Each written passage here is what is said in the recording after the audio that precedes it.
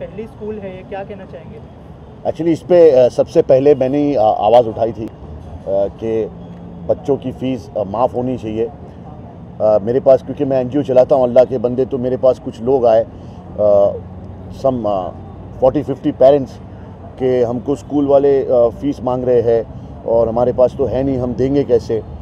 तो फिर मैंने एक लाइव किया अ, उनके साथ मिलके और एजुकेशन मिनिस्टर और हमारे महाराष्ट्र के सीएम और सब स्कूल वालों से रिक्वेस्ट किया कि प्लीज़ ऐसे पैंडमिक में जिनके पास खाने को नहीं है, राशन तो आप उन लोग से इतनी सारी फ़ीस मांगोगे। क्या होता है माँ बाप जब बच्चों की बात आती है तो वो अपने जेवर बेच देते, अपनी गाड़ी बेच देते, अपना कलेजा बेच देते, जो उनके पास है वो बेच देते, सिर्फ़ इसलिए कि उनके बच्चों को एक अच्छा एजुकेशन मिल सके, अच्छी पढ़ाई वो कर सके, उसके बावजूद बच्चे जोमेटोज में काम कर रहे हैं। उन माँ बाप के कलेजों पे क्या बीतती होगी, वो मैं जानता हूँ क्योंकि मैं उनके साथ चलता हूँ उनके साथ खड़ा रहता हूँ। हमारे हिंदुस्तान में ये चीज़ बदलनी चाहिए।